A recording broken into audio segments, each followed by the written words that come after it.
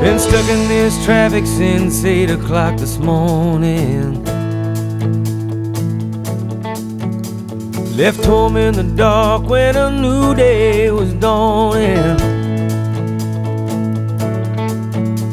I sit back and think about the weekend that's coming while I listen to this old